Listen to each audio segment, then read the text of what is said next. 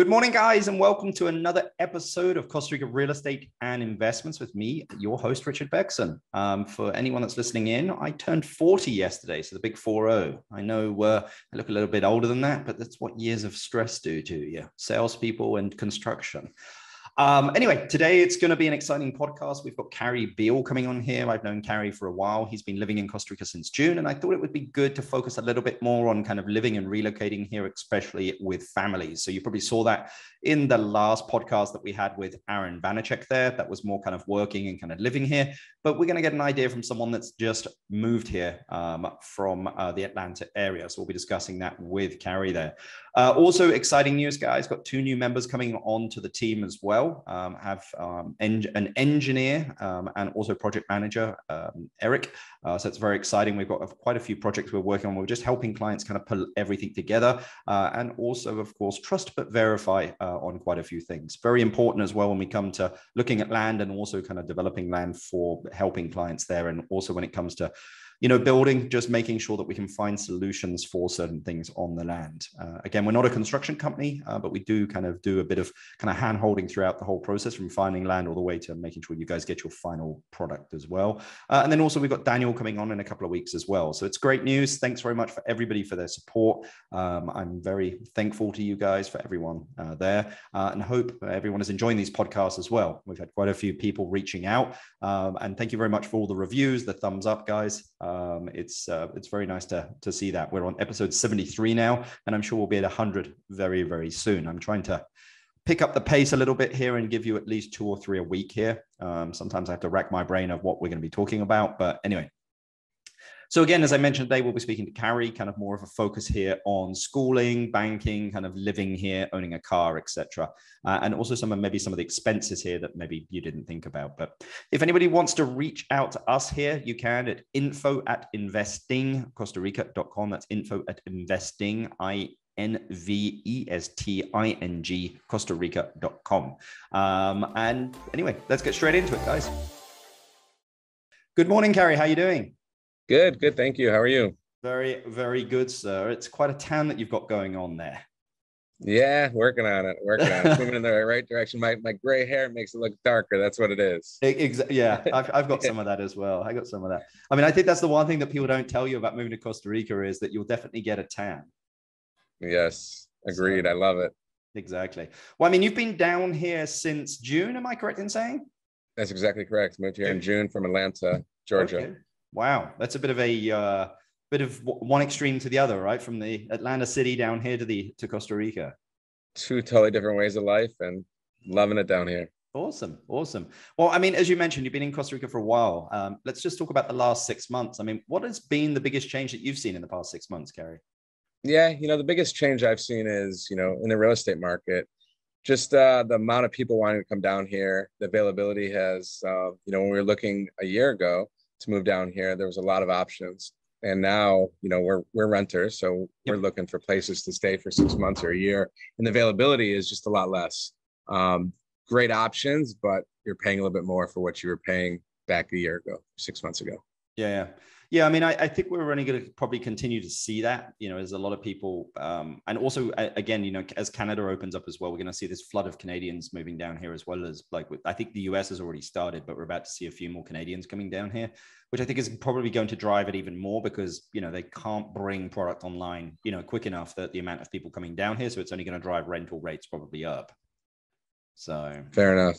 I mean, what advice would you give to anyone looking to find a, a, rental? I mean, how to find them? You know, is there much negotiation in the price? I mean, you've been through it probably a couple of times. So, what, what would your advice be on that front? Yeah, it's all about your network. It's you know, finding stuff online is very tough. Um, you know, I don't want to say it's non-existent. You can find something online, but it's all about who you know and your connections, boots on the ground, knowing people, having relationships, and consistently following up. Because if you call somebody a month ago and they don't have something, they're not going to call you back and tell you they uh, found something in a month. You're going to have to call them back every, obviously you don't want to call them every day or every couple days, but you're going to have to call them back every couple weeks and just check in because when new product comes available, you got to be top of mind. Well, I know you have a great network down here, Cary. You're like a social butterfly. So, uh, so yeah, it's, I'm sure it will be pretty easy for you when you need to find your next place. But let, let's talk about, you know, kind of just about what I mean, what is the you know one one thing or maybe a few things that you you think that people should be aware of when moving to Costa Rica that maybe they're not aware of at the moment? Yeah, of course. So when we came down here, you know, fast-paced life, moving 300 miles an hour, and you know, come to Costa Rica, everything just slows down, and it slows down in a good way. Um, but at the same time, you know, I heard the saying before I came, and I didn't really think about it much. And it was basically Costa Rica is not going to change for you. You got to change for Costa Rica. Yep. And now that I'm living here, it's very true. Um, you got to adapt. You got to get used to it. When you go to a restaurant, my daughter always says, "Don't go there when you're hungry.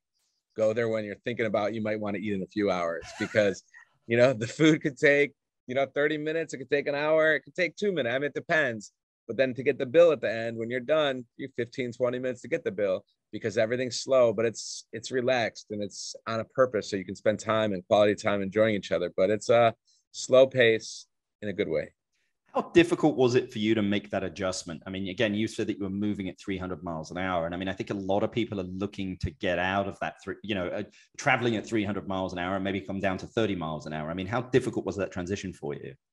It, it, it took me a few months, um, and I could tell you, you know, with we have three kids, and everybody in our family adjusted a little bit differently. Yep. Um, you know, my wife, you know, hopped in and she was adjusted a lot faster than I did. Uh, my kids, I'd say two adjusted pretty quickly, and one was a little bit slower. But at the end of the day, you know, I'd say probably about 60 days for us to realize, like, okay, this is a good way of life. This is a, you know, let's not be in 50 places at 50 times. Like, let's just slow down, enjoy, enjoy the ocean, enjoy, you know, where we are. And I would say it took us about me personally 60 days. Okay. Okay. Well, it was pretty quick though. I mean, 60 days to adjust, I mean, is, is pretty, is pretty good there. Um, Let's talk. You know, um, a lot of people are looking to move down here with kids as well. You know, they're looking to relocate with their families. I mean, what advice would you potentially give them when they're looking to move with families?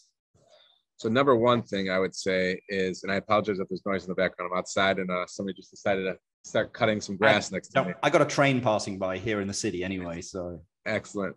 So, number one advice I'd give to people moving down with families is identify the school first.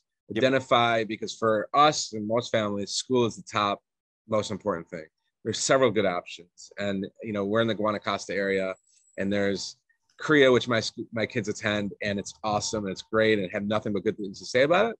But then also, not every kid fits in every single situation. So there's La Paz, there's Tide, there's Journey, there's lots of good schools. I would identify the school first, and then figure out from there. Because without the school, you know, where do you end up? Where do you live? You know, you want to live close to your school. So I would look into the school, figure out the school area. And then another thing I'd say if you're moving with families, this is a huge thing to us. Connect with people before you come. Make friends before you come. We are fortunate enough to connect our friends or connect our kids with lots of people before we came through Facebook, through Facebook groups. And our kids, when we came down here, they must have had five to seven friends each wow. before we got here. And when we landed, day one, we had plans. We were yeah. going out with other families. We, it wasn't like we had to go meet new people and get new people. And that was huge for us to be able to you know have those connections instantly.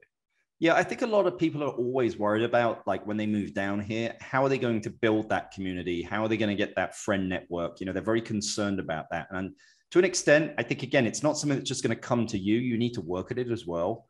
Um, you know and i think making those connections prior is good as well but also is you know just I suppose asking people round for coffee and, and you know you have to create that community there and, and, and put some effort into it because again it's not just going to like fall on you. Yeah, so 100% agree. So I created this WhatsApp group with all the new families we're meeting and talking to, and there's probably about 25 to 30 families that we all landed in Costa Rica within call it a 90 day period, you know, June, July, August of last year, and it's excellent. Now I have 25 families that are on this group I can send one message like, "Hey, we're all going to meet at this place," and you know, maybe five families will come, maybe two families will come, maybe ten families will come. Yeah. It's a nice way to just, like you said, you have to be proactive. You have to get out there, get to meet people, get to talk to people, and every everybody that we met is in a similar situation as us. They want to get away from the fast pace. They wanted to meet new people, so it's it's been very rewarding. Awesome, awesome. Just jumping back to schools a little bit. I mean, you know, a lot of people are like, oh, I'm moving to Costa Rica. It's kind of a developing country. How is the quality of the schools there? You know, what will happen then when my kids, I don't know, are 16, 17, 18, and then maybe want to go to college in the US? Like, uh, what's your opinion on that? I mean, how uh, how good are the schools here? Yeah, so we have three kids that are all turning, they'll be 11, 13, and 15. So they're in fifth, seventh, and ninth grade. And that was a top concern for us. We come down to another country, whether schooling's not well. Um, you know, we're very big on getting good education for our kids, and we've been very pleased. Um, you know, like I said earlier, we our kids go to CRIA, which is a U.S. accredited school through Virginia, and the quality of schooling is excellent. Uh, the kids have been very happy, challenged.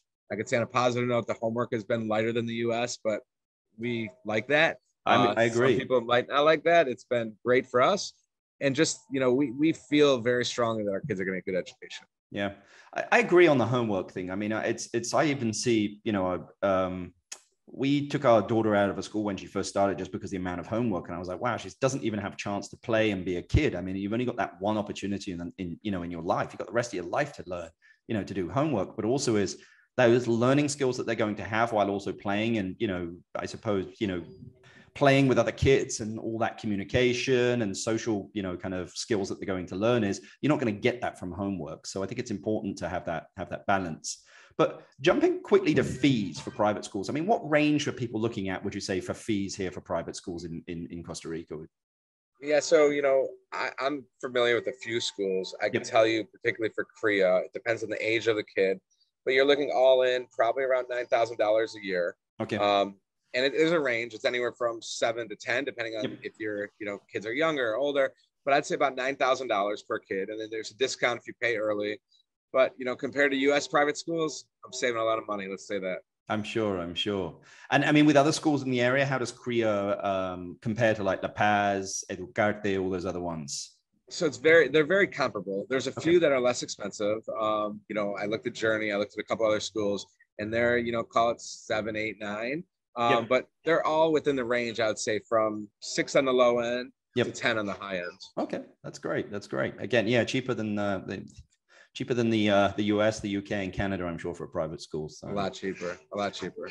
You and I have discussed a couple of times about owning a car here that you don't need anything that luxurious. There's no keeping up with the Joneses because anyone, anytime anyone sees a Porsche driving on the road like a Porsche Cayenne, it's like, look at that idiot. Uh, no offense to any Porsche Cayenne owners, of course, but here yes. in Costa Rica, there's just no need for it. But I mean, explain how like you went about choosing one, the journey, like your journey of buying a car here, and what advice and kind of you would have for people and what model to buy. Of course. So I heard a saying when I came here cars come to Costa Rica to die.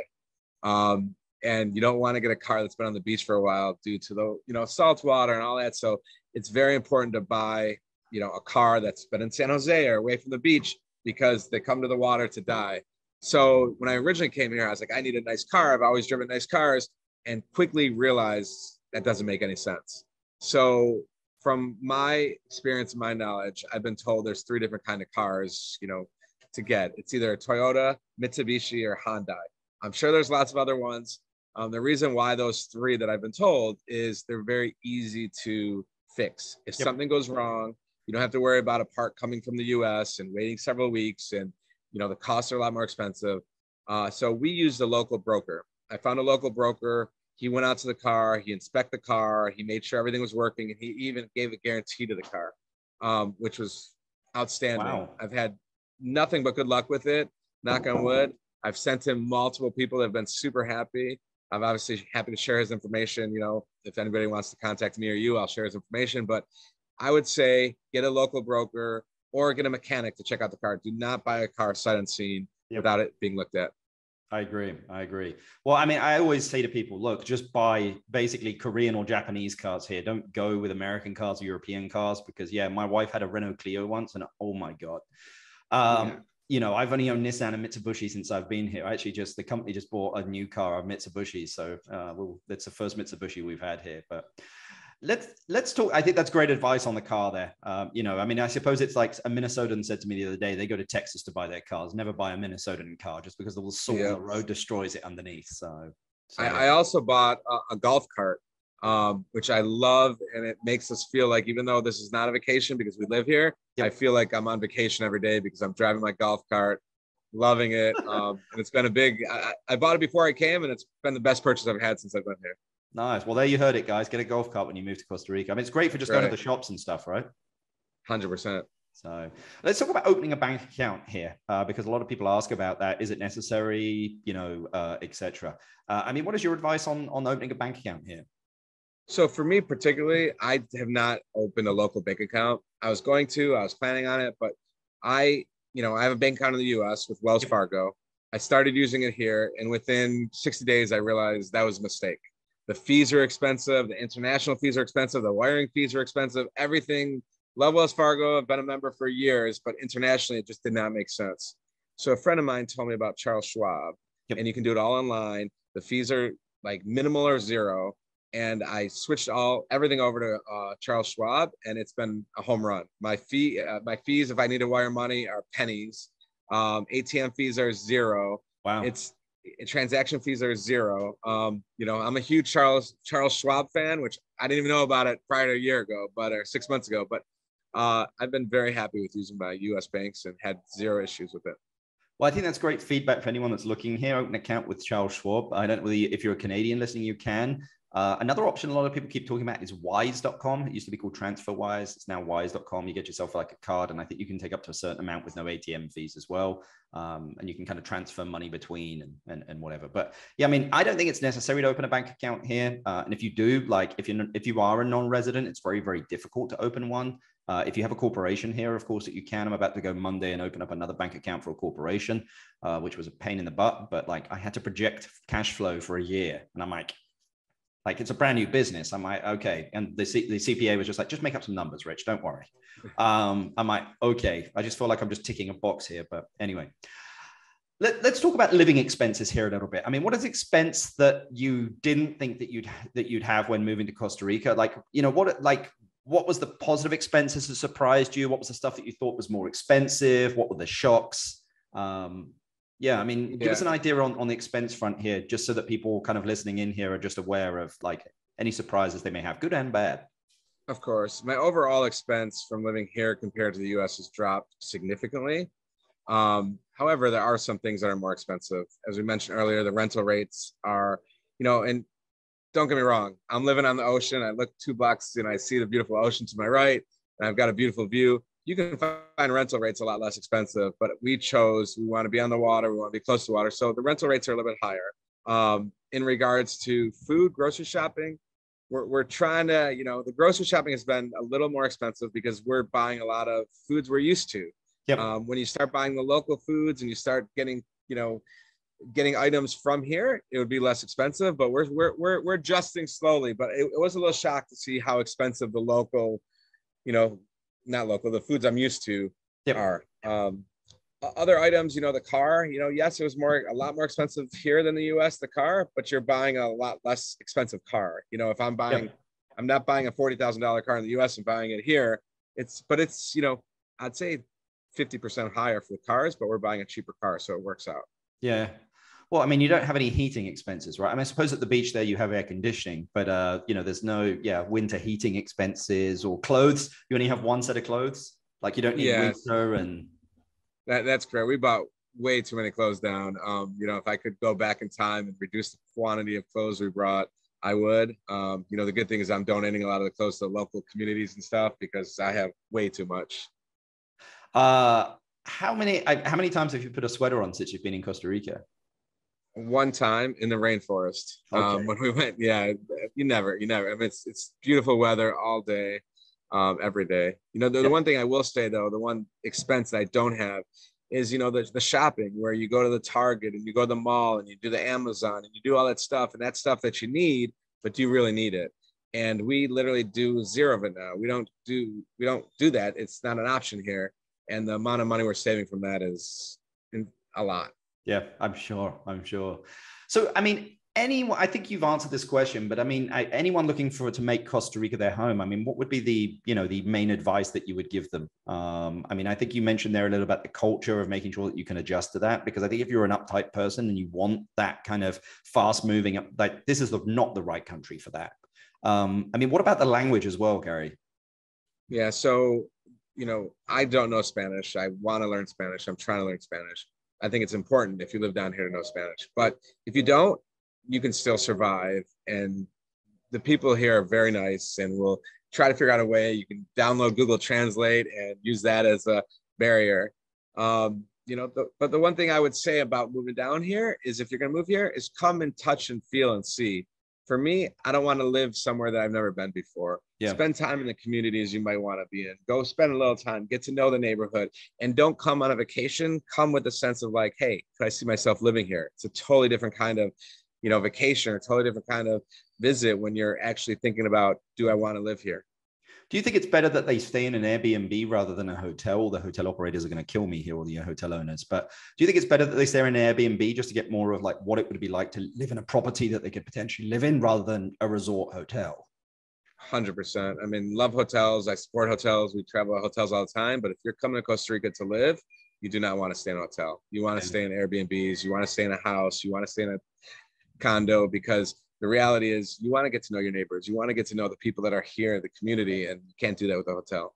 Yeah what is i mean you, again it, you've traveled around quite a bit here in costa rica. I mean what, where is your favorite place to go?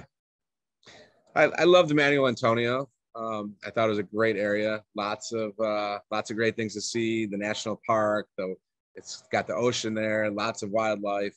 Um, I also love where I live. I think we landed in a great spot. I mean, we landed in Guanacaste, Reserva Conchal and it's a beautiful neighborhood, great community. Um, but there's a lot of good areas around here too, Tamarindo and Mar Vista, and, and just for us, this feels like home. Yeah, that's awesome. I'm glad that you've, uh, as I like to say, found your tribe. Um, so, if my last question for you, uh, if you inherited five hundred thousand dollars and had to invest it into a business or real estate in Costa Rica, what would you do with it and why? It's a good question. You're making me think.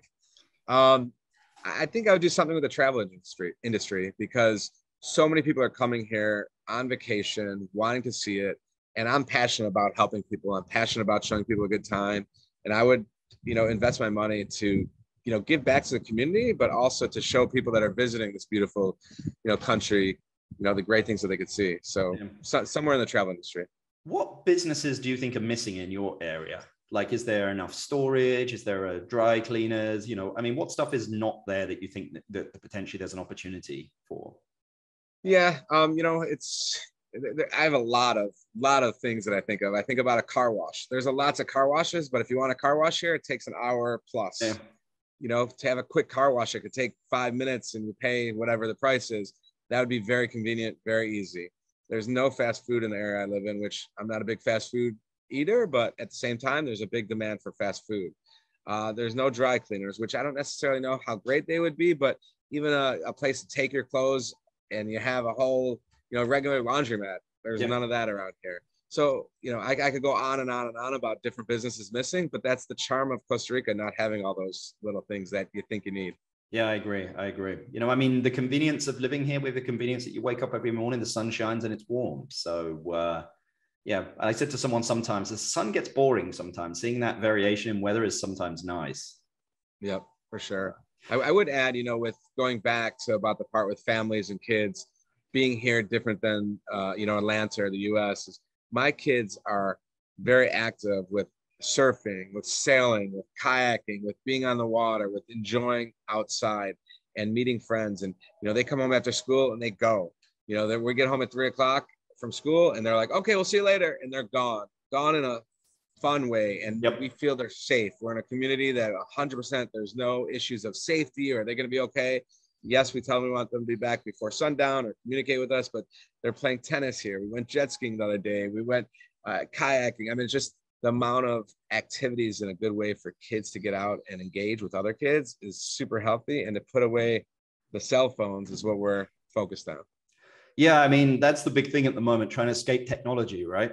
Um, I think that's the biggest challenge we probably have with our kids is getting them, you know, kind of off that, uh, off, off, off that uh, addiction to, uh, to technology. So, um, yeah, I mean, Costa Rica definitely is the place. I mean, I think if you want a better quality of life uh, and not so much of, I suppose, a rat race or you know, getting on the treadmill, you know, things slow down here a little bit. You know, it has its pros and also its cons, but I think the pros far outweigh the cons. And I mean, as you said there, I think it's an amazing place to bring up kids. I mean, you know, I'm from the UK, my wife is Costa Rican. You know, we talked about, you know, moving to Europe and we were like, why would we? I mean, like life here is amazing. Yeah. We know? came uh, in June and we said we're coming for one year from June to June. And now we sat down with the family a couple weeks ago and the family, you know, we said, "Do you guys want to stay?" And we, you know, we're all about making sure our kids are ha- happy, healthy, safe, good schooling, and we want to make sure they're all on the same page because the last thing we want is for four of us to be happy and one of us not to be happy. Yeah. So we said if anybody's not happy at any time, we're done with it a year. So we sat down with all them a couple weeks ago and we said, okay, this is the time. Do we want to stay for another year? Yes or no?